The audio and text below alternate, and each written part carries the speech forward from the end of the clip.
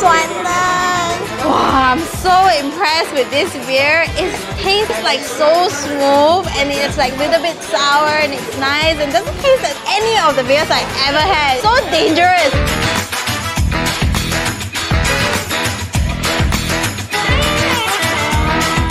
It smells like chocolate. You can try the exploding rainbows. It's like a very nice fruity aftertaste that comes later.